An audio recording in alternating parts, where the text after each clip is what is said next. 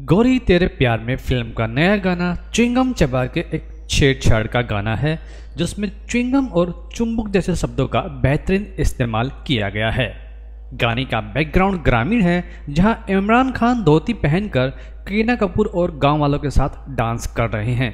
चुंबक चबा के गाने का स्वाद लंबे समय तक पब्लिक के कानों में रहेगा, और शंकर महादेवन की आवाज़ ने गाने को अलग लेवल पर पहुँचा दिया है। चुम्बक चबा के गाने पर आप अपनी राय मुझे कमेंट सेक्शन में टाइप करें और रिपोर्ट को लाइक करना ना भूलें। फिल्मी जगत की चटपटी खबरों का स्वाद चखने के लिए बॉलीवुड पकौड़े को आज ही सब्सक्राइब करें।